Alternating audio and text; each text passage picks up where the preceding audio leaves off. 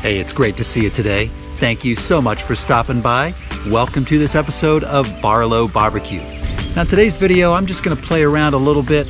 I've got a couple patties I'm going to turn into a smash burger, and I also have some leftover barbecue ribs. I'm going to shave the meat off the bone, chop that up, and I'm going to throw that on my burger as well. So, nothing real serious today, but I am definitely looking forward to trying out this burger. So, why don't you join me? I'm to get started up by the pool. We're to turn on the gas grill and I'll go over the ingredients, what I've got set up for today's cook. Let's get started. So right here I've got the ingredients for the burger I'm going to make today. And you know what, honestly, I don't have a name for this burger yet. At the time of filming, I still don't know what I'm going to call it. Anyways, here are the kind of the essentials of what I've got planned. So right here I've got some ground beef and these each weigh 2.3 ounces. And this is what I'm going to use for my smash burgers. I'm going to throw a little bit of this Uncle Steve Shake Competition Cow Shake right on this ground beef to give it a little bit of flavor. We're going to use some sharp American cheese for those smash burgers. And right here I've got some rib meat from some ribs that I made the other day. This is all chopped up right here.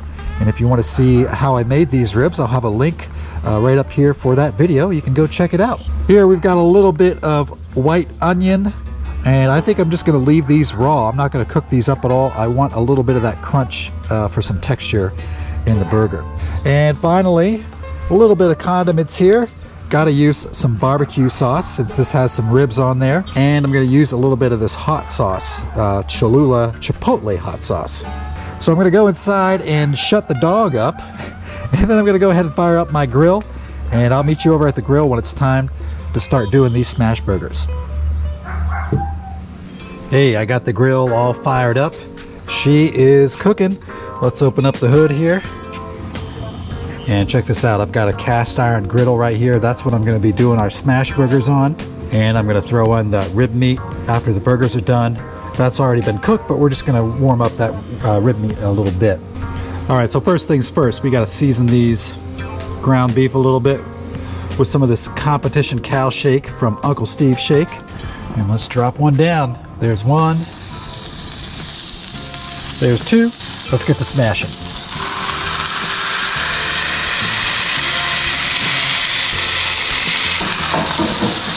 Looks good.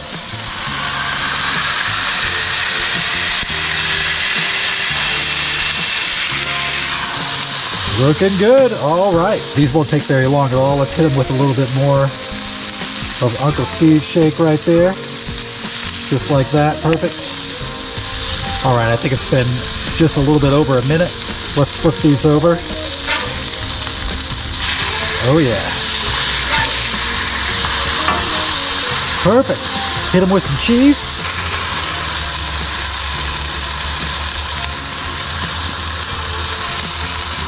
Get that cheese on there. Close this up just for a second and let that cheese melt. And these really should only take about maybe 30 seconds to a minute to finish up on finish up on the other side. Okay, let's check them out. Oh yeah, that cheese is melted. Take a peek at the other side. That's looking good. These are looking good. I'm gonna go ahead and get these off. There's one. And two. All right, the burger portion is done. Got those cleared off. Now let's throw this rib meat on here. And all I'm doing is warming this up. It's already cooked through. This is from a rack of ribs I smoked a few days ago. Just gonna give a little time on the griddle, let this warm up.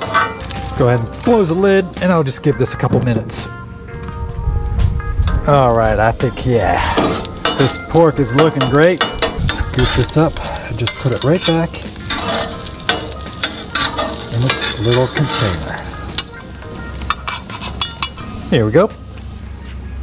All right, we are ready to put this burger together. And down here I've got uh, my bun I'm gonna use. It's a little brioche bun right here. And I just threw that on the griddle to toast these up a little bit. All right, so let's go ahead and get these burger patties on here. Not on the cutting board. We want to put them right, right there. Look at that. That is a perfect fit for the bun, okay?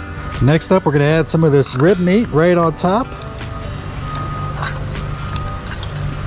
fun part's going to be having it stay. But, uh, you know, we'll just pile it on there. If some falls off, that's all good, okay? Now I think over that, let's put a little bit of this barbecue sauce. I got some sweet heat barbecue sauce right here.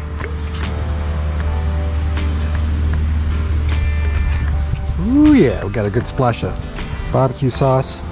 How about a little bit of hot sauce on there? Gotta have some onion, man. I love some onion on my burgers. So, we'll get some onion on there, just like that. Gotta have some pickles too. This is gonna be a tough one to eat. And I think that's gonna about do it. But last but not least, for me anyways, I gotta have some yellow mustard on here. I love a little yellow mustard on my burgers and with my pork. I'll take mustard over barbecue sauce any day. All right, it's time to try out this burger. I'm looking forward to seeing how it tastes. Here we go. Hmm. Mm-hmm. You can really taste a little bit of everything in this. Smash burger tastes great. That American cheese is perfect. Can taste the ribs in there. Adds a nice little smoky flavor, which is real nice. Got those good onions in there pickle, barbecue sauce. Hmm, another go here. Hmm. Tell you what, there's not a lot that I'd change about this burger. It's pretty dang good on its own. And if you have some leftover ribs at home, some ground beef, go ahead and make yourself one of these. Got to do something with those barbecue leftovers. I'm going to wrap this video up so I can finish this burger up. Still don't have a name for it, but I really do appreciate you hanging out with me today. It really does mean a lot to me that you take time out of your day to come and visit. I love you, and until next time, smoke them if you got it. Bye bye. Hmm. Mm, mm, mm.